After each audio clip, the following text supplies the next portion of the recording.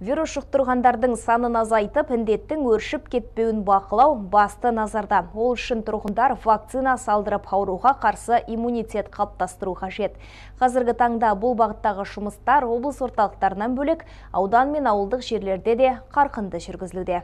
Шу аудандық орталық ауруханасы бойынша COVID-19 індетіне қарсы екпені жүргізу үшін үш бөлме жұмыс істеп тұр. Үш екпе салуға арналған бөлмелер нормативке сәйкес вакцинаны сақтауға арналған тоңазытқышпен жабдықталған. Шалғайда орналасқан елді мекендерде екпе жасауға термоконтейнерлермен қамтамасыз етілген төрт мобильді бригада бар. Вакцинациялауға жататын халық саны 28098 адамды құрап отыр. Қазіргі таңда өзім вакцина алып, қалған шу аудан тұрғындарына вакцина алуға шақырамын. Себебі қазір осы індет бүкіл әлемді алып көп адам сол індеттен өліп отыр. Мен өзім вакцина алып үйдегілерге де вакцина алуға талап еттім. Бәрі вакцина алды қазіргі таңда. Сол бізде, бізге болашақ керек.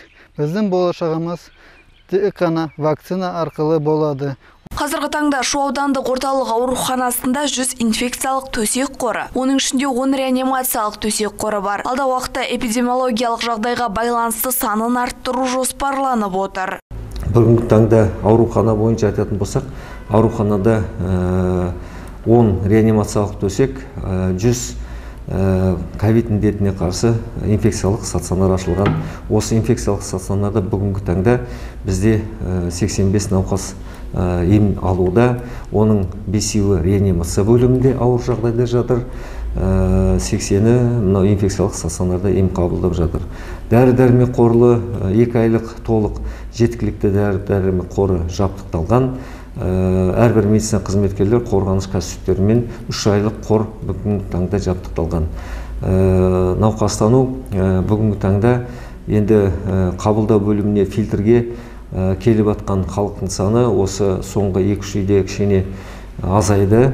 Инфекциялық стационарлардағы науқастардың денсаулығы дәрігерлердің бақылауында. Халыққа үйде медициналық қызмет көрсету оның ішінде дәрігерлік заттарды жеткізу үшін 11 арнайы бригада жасақталған. Жанар сырымқызы ернар сатыбалды жеті жеті ньюс.